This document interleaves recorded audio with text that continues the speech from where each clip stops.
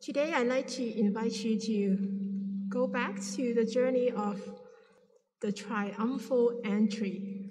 We're going to talk about whether this entry is really triumphal or not. I'd like to go back with you to the story itself. And here it is Mother, I'm very nervous. I heard from our owner that someone made a reservation for a new donkey, and I would be the one carrying him.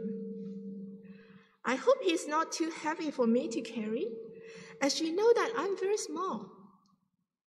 I hope he's a gentle rider as well. I'm horrified by hearing stories about how other riders kicked the donkeys. My dear child, not to worry. I will accompany you when you carry on your first duty. I will be there to protect you and carry your load if it becomes too unbearable for you. Oh, I heard that my first customer is a famous person from Galilee. He heals the sick, feeds the hungry, and even raised the dead. I feel so honored to carry such a person on my back. I heard that he has a large following I hope I won't be squeezed too hard by other people when I'm carrying him into the city. I'm sure everything will be all right, my dear. Sleep well. You have a noble task ahead. Hi, we are the disciples of Jesus. We are here to help pick up the donkeys which our Lord has reserved. Here are your donkeys. Oh, I thought we only reserved for one. Oh, it's a practice to send the young donkey's mother along for the first duty or first ride so that the little one won't be so scared. Don't worry, there's no extra charge for it. Mother, let's go. They are here. I can't wait to meet my rider. Do you think other prominent leaders of the city will come and greet us and escort us into the city? Wow, what a scene, my dear boy. It must be quite an experience for you today. Indeed, I felt like I was a Hollywood star when entering the city. So many people waved their palm branches at us and laid their clothes on the, on, the, on the road for me to walk on. Though I know they were not cheering for me, but my rider, I still felt so honored. I heard people shouting, Hosanna to the Son of David. Blessed is he who comes in the name of the Lord.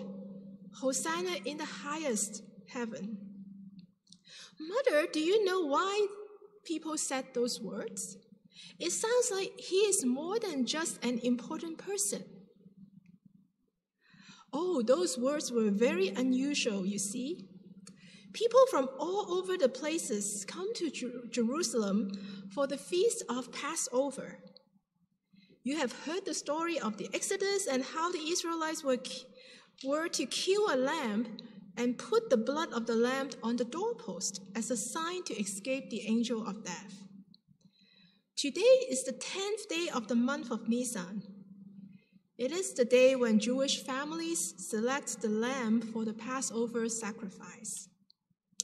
Oh, mother, please keep going. Is there any more secret about this man?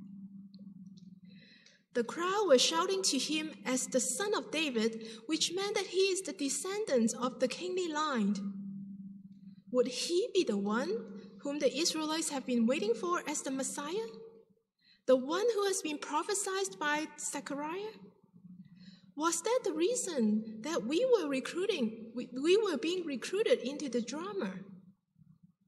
Rejoice greatly, daughter Zion. Shout, daughter Jerusalem. See, your king comes to you, righteous and victorious, lowly and riding on a donkey, and on a colt, the foal of a donkey. But, mother, I do not quite understand why a king did not want to ride on a horse, but a donkey. I saw pictures in books where the Roman emperor or general came to town, they were always riding on a horse and a chariot. Yes, kings ride on horses and chariots after coming back from battle, showing off their victory. But when a king rides on a donkey, it signifies that it is a time of peace where there will be no more killing or fighting. However, it does not look like this king comes to stir up a war. The Old Testament prophets refer to him as the Prince of Peace. That's precisely what people were not very happy about. The fact that this king had no interest to fight against the Roman government. Of course, this was a make up story of the dialogue of these two donkeys who carry on the duty to carry our Lord Jesus. But this is our humble King, our Lord Jesus Christ. He had been very low key, as you might remember in the Gospel, in talking about who he was, except to the close ones, to the disciples. But here, in the beginning of the Passion Week, this is the first time that Jesus publicly declared himself as the King of the Jews, as the King of heaven. Why? Because the time has come. This triumphal entry into Jerusalem was a clear revelation of who Jesus was. People have been reacting differently towards Jesus' proclamation. We can basically divide them into three categories of people. The first category of people would be the disciples. The disciples were the ones who walked the closest with Jesus for three years before this week. Do you think the disciples understood Jesus very well since they have been together for three years? Throughout the gospel, we saw stories after stories that the disciples also had their own agenda of following Jesus for whatever reason. Even though gradually they came to know the Lord better and better. However, even up to this point, the last week of Jesus' days on earth, majority of the disciples still did not truly understand the identity and mission of Jesus. Do you remember that Peter once confessed Jesus as the Messiah and the Son of God? But then, he's also the one who's, who did not want Jesus to go to the cross. And he's not the only one. Most of the disciples were so enthusiastic and excited about what they saw with what Jesus has done healing the sick, feeding the 5,000, all the miracles that they have witnessed. They had high expectation on this leader, that they, this teacher, this leader that they have been following. However, up to this point, they still did not truly understand what it means to be the disciples. They they were not still very sure if they are, they are willing to take up the cross and follow him. Disciples still argue about who is the biggest one, who is the most powerful one, who would be the leader amongst themselves. Jesus, riding on the donkey, being the Prince of Peace, wanted to once again show the disciple that he is not here to fight for anything. The second group of people in this scene, in this Passion Week experience, were the religious leaders. We heard more about them as the week unfolded, as we had just read the Passion narrative. If you remember Jesus' encounter with the religious leaders, it was not always present. Why? because the Pharisees, the priests, and the scribes somehow they were kind of like the target of Jesus' message. Jesus often told parables or teachings um, cha- that challenge what these, this group of people were doing. The Jewish authority disliked Jesus because he challenged them for their superficial religious practices. They might know a lot of scripture, They might pray a lot in the, um, in the temple.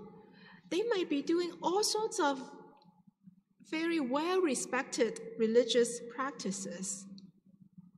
But they did not understand the heart of God. And they rejected Jesus as the Son of God. The third group of people walking alongside with Jesus and the disciples and everybody in this story was the crowd. If you have been to any concert or ball game, you know the impact of the crowd. Who are the crowd? They are the people who just follow like a superstar, or you know, they, they are the people who kind of look up to a certain figure and you know cheer for them but there's not really a personal relationship between the crowd and the superstar. They might really love, you know, this movie star or this singer or, you know, uh, this um, baseball player, whatever that is.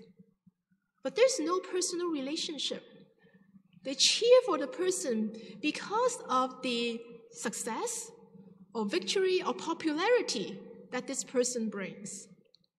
But they don't really understand what it means to follow the person. And that's exactly what's happening in the story. When Jesus entered Jerusalem as a king, the crowd was in the midst of the Passover feast. There were a lot of festivities, lots of people. The town was full. It's kind of like one of those um, uh, Olympic or Super Bowl experience where everybody traveled into the town. All the hotels are full, all the restaurants are full, the whole city was just full of energy.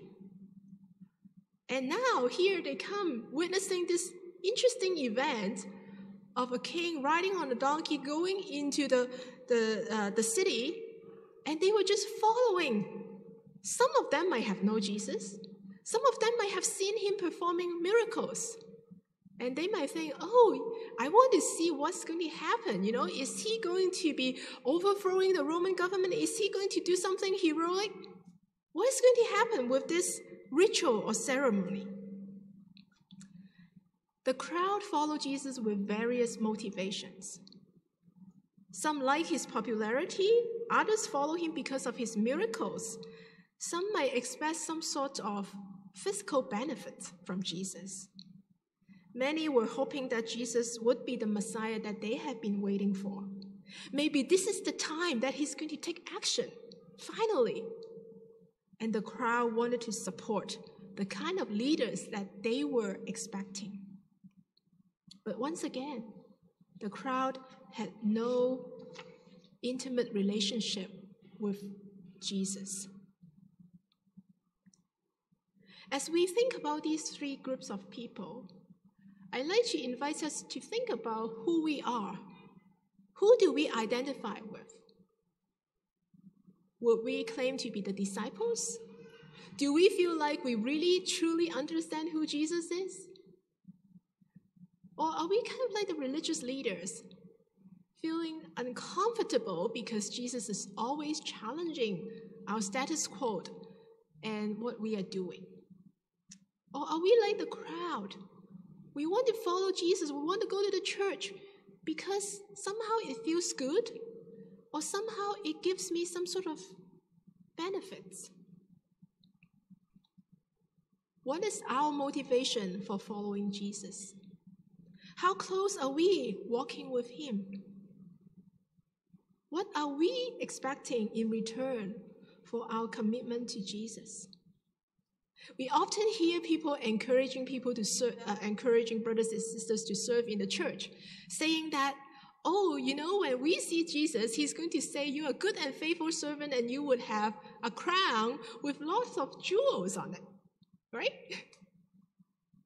Is that our motivation for serving God?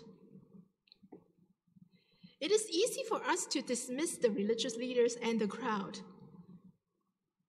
as if they had no relationship with us.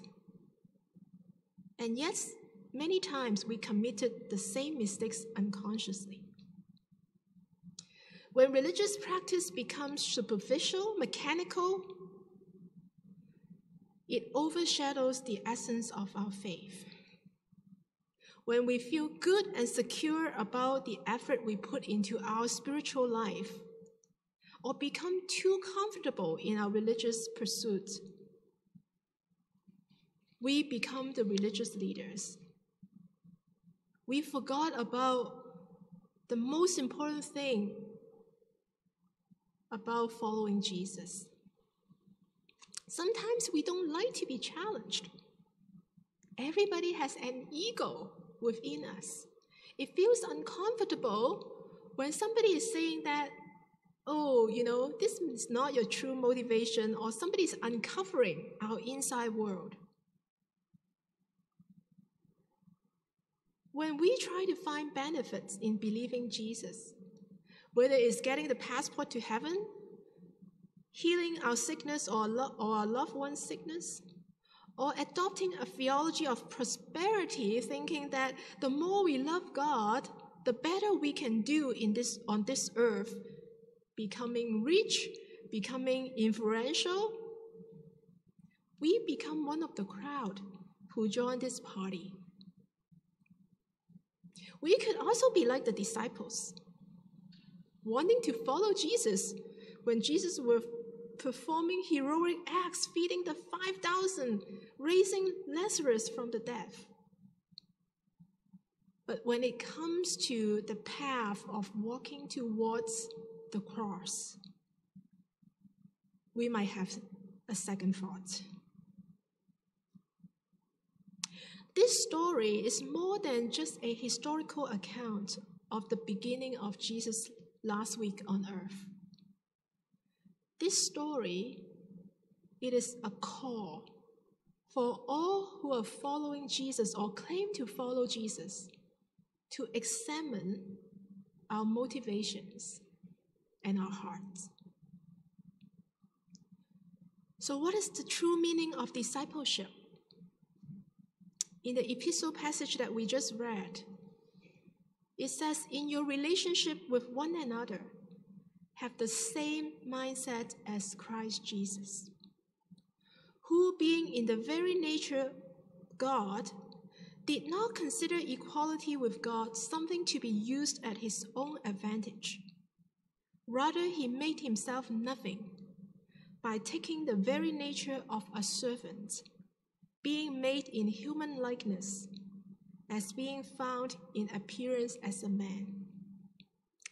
He humbled himself by becoming obedient to death, even death on the cross.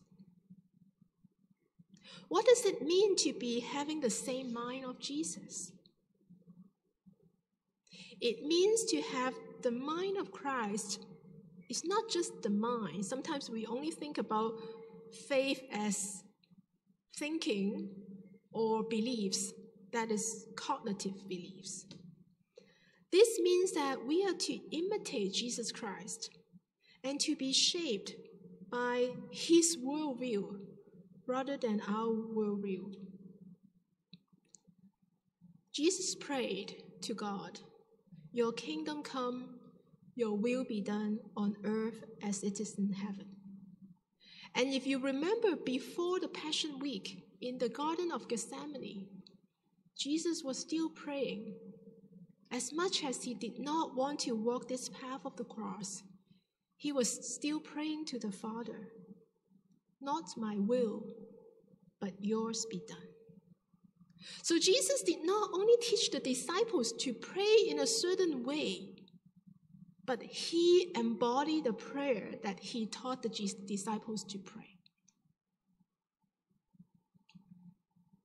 Jesus introduced a new kind of logic of living and a new code of relationships that help people to go back to the original intent of how God created us.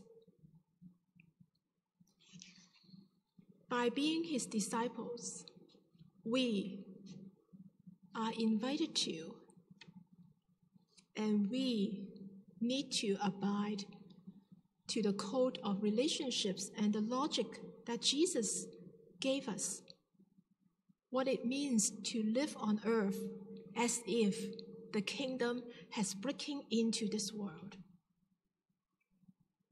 What it means to live fully as someone who is being created in the image of God. And not just ourselves, but seeing each other as created in the image of God. This humble King, our Lord Jesus, voluntarily take up voluntarily giving up his rights and his status, even though he could claim it any time, at any place. Jesus was not forced to give up his kingship or his status as God, but he chose to give it up. And he demonstrated to us what servanthood or servant king looks like. Not just not only did he just did he give up his status, but he walked one step more to sacrifice himself for the people who do not deserve, like you and me. Jesus' whole life was a countercultural act of how this human world operates. When this human world promotes upward mobility, to be more powerful, to be more rich, Jesus' worldview teaches us that we need to humble ourselves and go downward in our social mobility.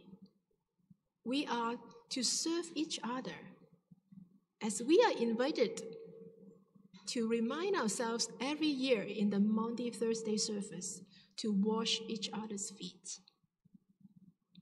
And remember, back in Jesus' days, their feet were not as clean as the feet that we have today. Today we have shoes, we have socks. When we take off our shoes and our socks, our feet are quite clean. But back in those days in Israel, they wore sandals, they walk on very dusty land, their feet were dirty. And think about washing the feet of these people. A few weeks ago, a friend told me about a book called The Rough Sleepers. It was a doctor's um, account of how he got involved in um, working with the homeless and the people who have nothing on this earth, basically.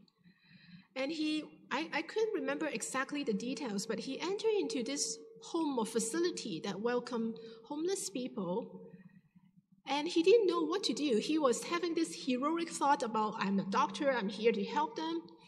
And it came a, a Catholic sister who was in charge of the facility.